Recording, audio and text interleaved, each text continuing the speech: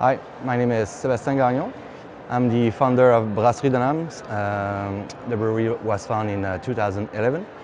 And uh, I'm also the founder of uh, Vice Versa in Montreal, which is the, uh, the first beer bar in Montreal, uh, established since uh, 2004. Sorry from my, for my English, it's not my first language. Uh, I start when I opened the, the, pub in Montreal. I was 33 years old. Um, I was working on um, I was traveling before, in the, especially in the United States, and, to, and I just realized that there's a lot of uh, craft beer bar uh, back in the days in the, in the United States. At that point in Quebec, at the, in Quebec, the beer scene was just so young and uh, so small, but we just decided to promote the um, excellence of a Quebec beer scene. At that point, it was tough to find good, be good beer and good brewery. But since that time, since almost 15 years, this Quebec beer scene has just expanded a lot. Um, one of the reasons why uh, today the Quebec beer scene is what it is, uh, it's not to compare with Belgium and with uh, England, with uh, German, it's very young in Quebec, so we don't have any paradigm in a brewing uh, history. So we just get your, our inspiration from other uh, worldwide beer scene in the world, just mix it together and try to develop some creative style in Quebec. It's, it's a resume, but it, I think it's, uh, it's a good way to imagine the Quebec beer scenes. So, um, and in Dunham since 2011, uh, it was impossible at the beginning to brew in Montreal because we don't have any uh, lot of space and the uh, commercial uh, local was so expensive. So we decided to move um, an hour and a half south from Montreal. It's very close to the Vermont border. Uh, we're about five minutes from Vermont uh, in a small village called Dunham. At the beginning, we uh, are looking for a name for the brewery, and it was a nightmare. It's like, okay, maybe it could be just the name of the city, the small village, and it's, that's why Brasserie Dunham. Here we are a small brewery in Quebec. We brewed about 4,500 hectoliters and we don't want to be bigger than that.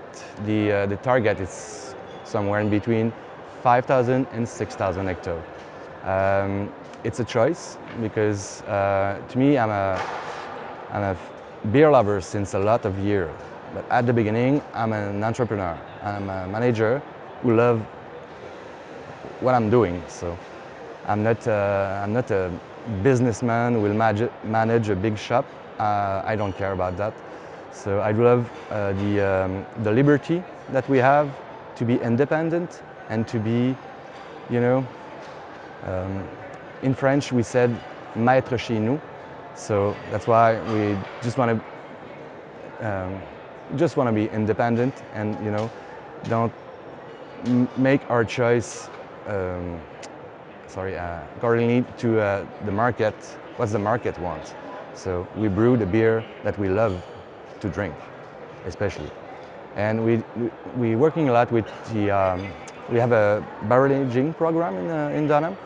And uh, in Dunham, in Quebec, there's a lot of winery and cider maker very close the brewery. So we have the chance to work uh, with those guys especially with uh, in a, a, beer series called Viti Vini Vici, which is a mixed fermentation with uh, with peels, the, uh, the, the peels the, uh, of the grape.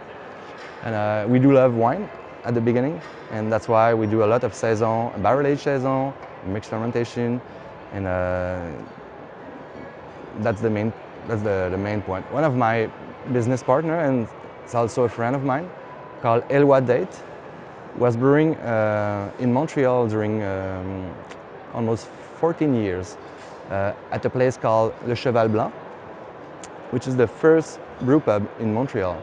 They got the license uh, number one. So uh, he brewed a lot, a lot, experimented a lot, a lot, a lot of things.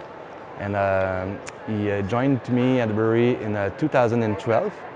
And since that time, we just became very good friends. We got the same philosophy to to get, okay, we will try a bunch of style, a bunch of uh, whatever. And without, you know, the only thing, it's the quality. The rest, it's not important, you know. That's the thinking since, since the beginning. And that's why, uh, I guess since that time, the brewery just ex expand a lot and uh, just, we're traveling a lot around the world. But we decided to, so we are not, you know, we choose the market that we want to, for example, the Belgium, uh, Bel uh, here in Bel Belgium. It's kind of a, we have a lot of um, friends and we do love this beer scene. We, uh, we love uh, Jean from the, the and Jean from Cantillon also. And we became friends. And uh, it's like, it's, uh, it's just an honor and a pleasure for us to come here. So as I said, we can sell all and more of our production locally, but we just keep a part of it to just get a chance to traveling and uh, meet some other brewers from around the world, tasting the best beer in the world, and just you know, okay, benchmark ourselves with what's what's the beer, the best beer in the world. So. Are you still having fun? Yes, I'm still having fun. And so Quebec has come a long way since the days of Brador and of Fufon Electric. yeah, it's uh, yeah, it's another world. So. And what would you say is your favorite brewers that are coming out of Quebec or say Ontario or Canada? To me, uh, one of my favorite brewery in, uh, in Quebec, it's uh, it's still uh, Dieu du Ciel.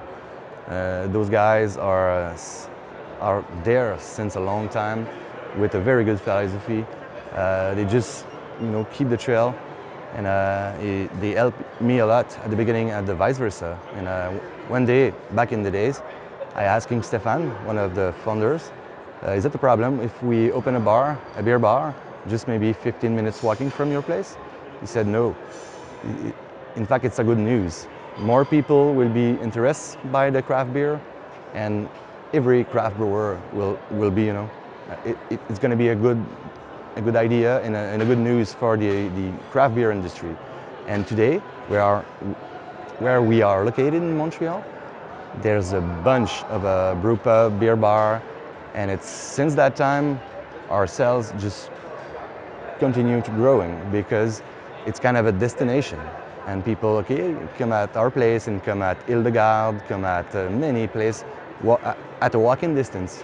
And, and it's a very good place to discover uh, different style of beer, different kind of brewery, and this is this philosophy. But that's why Ciel, uh, it's a kind of brewery who evaluated slowly but surely, and it's still still always good. And uh, it's one of my favorite uh, brewery. And for the brew pub, because there, there's a difference in Quebec be, be, between a brew pub and a microbrew, And uh, Isle de Garde, very close, the vice versa in Montreal. It's like super delicate pills, uh, super nice guy, nice guys also, sorry. And uh, yeah, this is one of my favorite. And in the rest of Canada, uh, I love uh, Bellwoods Brewery.